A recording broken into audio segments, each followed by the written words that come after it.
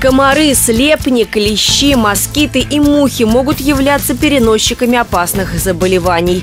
Этим летом насекомые очень активны. Для безопасности в лесу или парке необходимо использовать репелленты, отпугивающие средства. Можно наносить их прямо на кожу, но лучше на одежду. Тогда защитный эффект может длиться более 20 суток.